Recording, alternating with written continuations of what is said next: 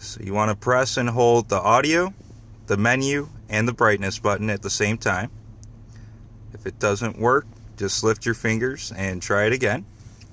You're going to want detail, information, and setting, unit check, and then DA unit. Serial number is right at the bottom. Thank you.